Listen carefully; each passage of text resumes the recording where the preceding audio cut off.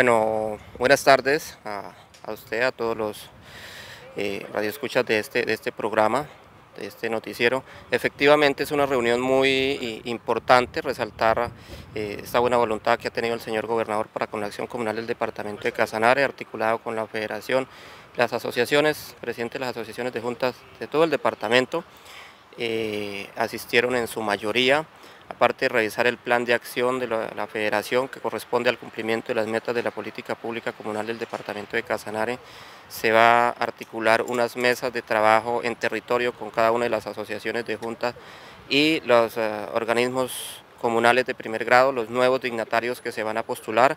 Estamos a la espera de que a partir del 2 de febrero, ya cuando se hayan postulado los nuevos dignatarios, articular eh, con la agenda del señor gobernador esta mesa de trabajo para ir a visitar eh, el territorio y ya que puedan tener una interacción más directa entre las asociaciones y los presidentes de juntas de acción comunal en cada municipio. Varias inquietudes por parte de los comunales frente a la culminación de algunos proyectos. Sí, por lo general eh, a veces es la falta de información, en otras que vienen proyectos atrasados desde administraciones eh, anteriores, sin embargo pues el señor gobernador ha tenido eh, claridad y por eso quiere ir a los territorios para ir con todo su equipo de trabajo efectivamente a poder dar la información clara sobre el avance, el seguimiento y la culminación de estos importantes proyectos en cada territorio. ¿Quedan ustedes pues satisfechos con esta reunión, esta mesa de trabajo que se ha iniciado pues el día de hoy y los compromisos?